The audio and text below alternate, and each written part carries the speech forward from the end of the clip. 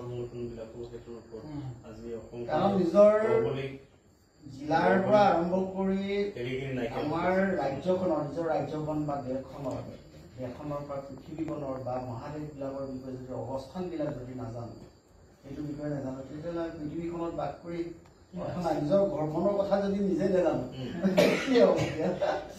আমাৰ এই যে এতিয়া যিটো নেকি অসম অৰুণাচলৰ ভৌগোলিক সীমা এতিয়াও নাই। নাই। আহ, ধৰক এতিয়া আমি এতিয়া কি বুলি কয় এইটো?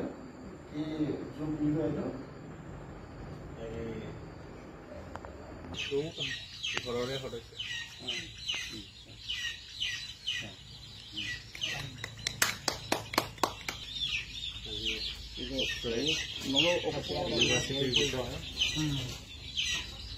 নম্বৰ পাই মানে সোণৰ পদক অৰ্জন কৰিছে। মানে আপোনাৰ যিহেতু পুত্ৰ আজি এনেধৰণৰ জীৱন কৰিলে হিচাপে অনুভৱটো কেনেকুৱা হৈছে মই এজন ব্যক্তি হিচাপে ধৰক মই আৰু মোৰ ল'ৰা বুলিয়ে নহয় মই এজন শিক্ষক হিচাপে প্ৰত্যেক সমাজৰ প্ৰত্যেকজন ছাত্ৰ ছাত্ৰীয়ে যদি সন্তানে যদি এনে সুনাম কঢ়িয়াই আনিব পাৰোঁ পাৰে তেতিয়াহ'লে মই নিজে ধন্য হ'ম মই এজন শিক্ষক হিচাপে। আৰু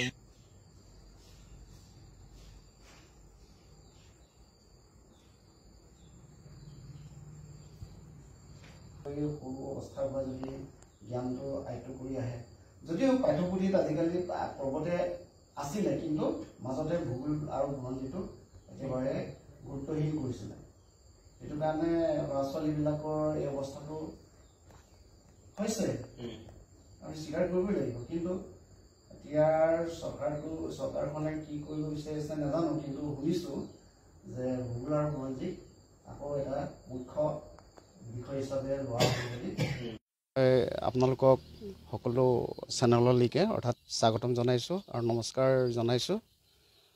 মই এজন নিজে এজন শিক্ষক হিচাপে মই ল'ৰাজনক বা ল'ৰা মোৰ দুটা দুটা ল'ৰাকে মই কেনেকৈ ধৰণৰ যত্ন ল'ব লাগে পঢ়া শুনা কেনেকৈ কি কৰিব লাগে সেইটো পৰাপক্ষত মই যিখিনি সময় সুবিধা পাওঁ সেইখিনিত মই এডভাইচটো দিওঁ পৰামৰ্শ দিওঁ আৰু সেইমতেই তাৰমানে মই ক'বলৈ গ'লে প্ৰকৃততে মই এজন ভূগোল বিভাগৰে ছাত্ৰ আছিলোঁ কলেজৰ সময়ত আৰু এই ভূগোল বিষয়টো কেনেকৈ বস্তু সেই বস্তুটো মই পৰাপক্ষত এজন ল'ৰাক মোৰ ল'ৰাজনক তেওঁৰ অন্তৰাত্মাত মানে সুমিয়াই দিবৰ কাৰণে খুব চেষ্টা কৰিছিলোঁ আৰু সেইধৰণে মোৰ এডভাইচখিনি তেওঁ গ্ৰহণ কৰিলে আৰু আজি ল'ৰাজনে মোৰ আজি মোৰ মনৰ কামনাখিনি পূৰাইছে বুলি মই অনুভৱ কৰিছোঁ আৰু মোৰ সেইটোৱে যে মোৰ আজি খুব ভাল লাগিছে যে এখন বিশ্ববিদ্যালয়ত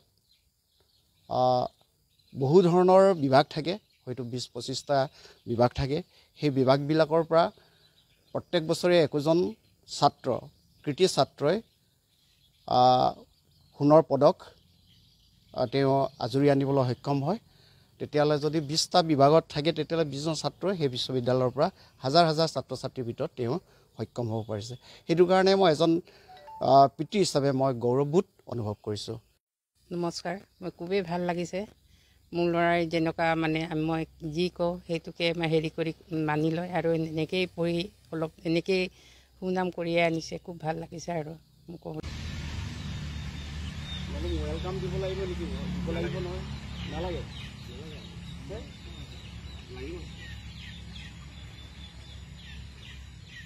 ৱেলকাম দিয়াটো ভাল